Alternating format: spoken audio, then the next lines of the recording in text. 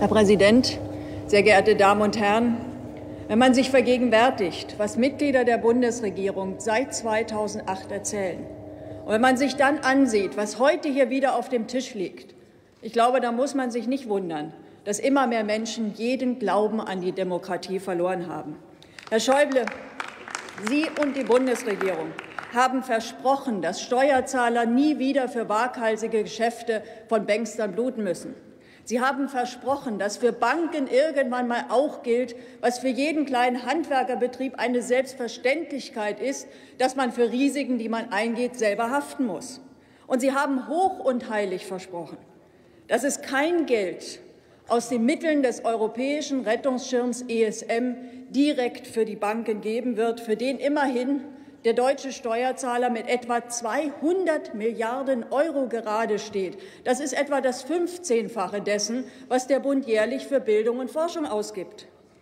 Herr Schäuble, ich muss schon sagen, entweder Sie haben bewusst gelogen, um die Menschen zu täuschen, oder Sie haben Versprechungen gemacht, die Sie nicht einhalten konnten. Auf jeden Fall beraten wir heute über Gesetze, die das exakte Gegenteil dessen enthalten, was Sie den Menschen versprochen haben.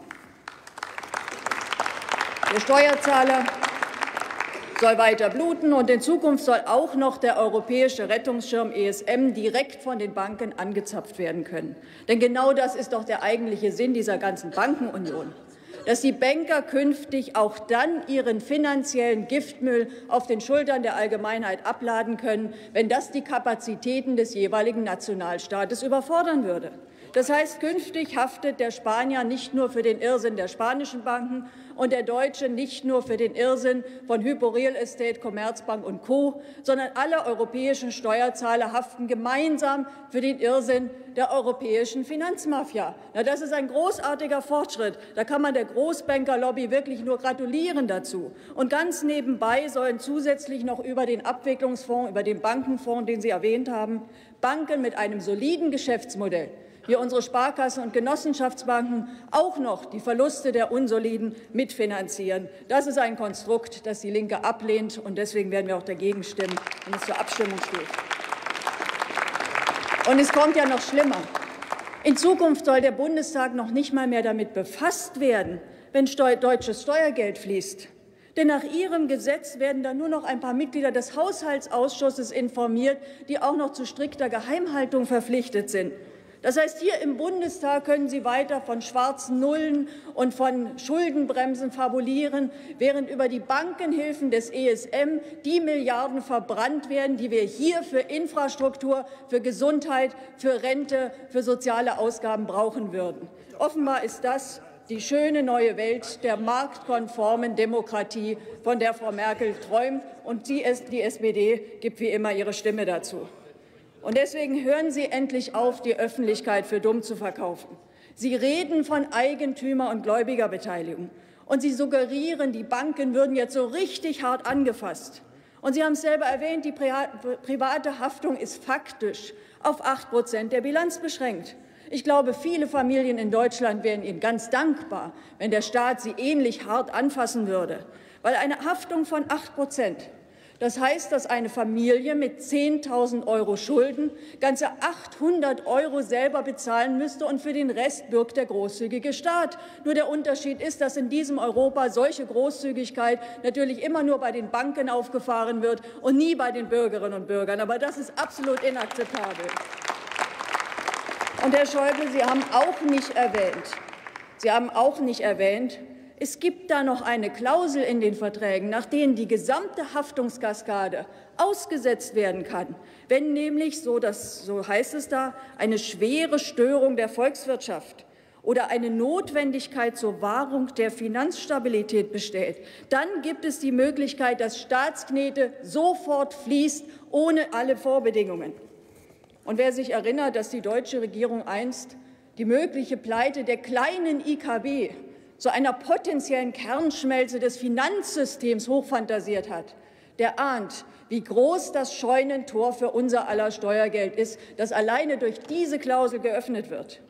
Und wer glaubt, dass der ehemalige Goldman Sachs Boy und künftige Oberaufseher aller Banken, Herr Draghi, den Banken jetzt aber so richtig auf den Zahn führen wird, also ich glaube, der muss wirklich mit Naivität geschlagen sein.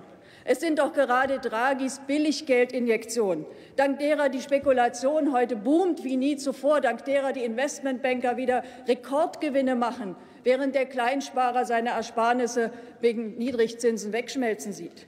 Und ausgerechnet den Markt für Kreditverbriefungen, Sie haben es erwähnt, einem der Hauptauslöser der letzten Krise, will Draghi jetzt auch noch mit einem milliardenschweren Kaufprogramm neu beleben. Man stelle sich mal vor, die Lebensmittelüberwachung in Deutschland würde den Restaurants, in deren Küchen die Kakerlaken feiern und das Gammelfleisch stinkt, den Ankauf aller verdorbenen Lebensmittel anbieten, bevor ihre Kontrolleure das Haus betreten. Und genau das ist es, was der große Oberaufseher aller Banken Draghi jetzt macht. Er kauft den Banken ihr Gammelfleisch ab, bevor die Kontrolleure kommen, sprich bevor der Stress das stattfindet, und zwar auf unsere Rechnung. Und wenn Sie sagen, Sie sind damit nicht glücklich, dann finde ich das ja sehr erfreulich. Aber dann frage ich mich, weshalb die Bundesregierung dort nicht endlich mal interveniert, wenn solche Pläne gemacht werden. Die große Finanzkrise mit ihren katastrophalen Folgen für Wohlstand, Arbeitsplätze und Staatsfinanzen hat vor mittlerweile fast sieben Jahren begonnen. Und seit mindestens sieben Jahren weiß man deshalb, dass durch laxe Vorschriften und blinde Aufsichtsbehörden gigantische Spielhöllen hochgezüchtet werden und hochgezüchtet wurden, deren Geschäfte niemand mehr ernsthaft überwachen kann und die im Pleitefall auch niemand geordnet abwickeln kann. Und spätestens seitdem weiß man, dass die internationale Vernetzung dieser Spielhöllen gefährliche Kettenreaktionen auslöst. Man weiß, dass es unverantwortlich ist, die Ersparnisse der Bürger und die Kreditversorgung der Wirtschaft solchen Spekulanten zu überlassen. Man weiß das alles, aber getan wurde nichts dagegen. Es ist eher noch schlimmer geworden. Die großen Finanzhäuser Europas haben mit der alten Idee von Banken als Dienern der Realwirtschaft ja, ich meine, vielleicht noch so viel zu tun wie das Terrornetzwerk Islamischer Staat mit der Idee einer friedfertigen Religionsgemeinschaft, nämlich gar nichts. Und, und da verkaufen Sie uns da verkaufen Sie uns hier eine Bankenunion als großen Durchbruch, die im Kern darin besteht, dass alles weiterläuft wie bisher, nur dass die Haftung der Allgemeinheit für diesen Wahnsinn europäisiert wird. Ich glaube, das ist wirklich unerträglich. Ja, Finanzstabilität ist ein öffentliches Gut. Und deshalb, eben deshalb gehört es nicht in die Hände zockender Investmentbanker. Wir brauchen Banken, die dem Gemeinwohl verpflichtet sind und die Investitionen finanzieren und nicht solche, die Casino spielen. Und dafür brauchen wir endlich eine Politik, die das Kreuz hat, sich mit der Finanzmafia anzulegen, statt ihr aus der Hand zu fressen. Und die Gesetze, die wir heute beraten, die sind leider ein Beispiel für Letzteres. Und deshalb lehnt die Linke sie ab.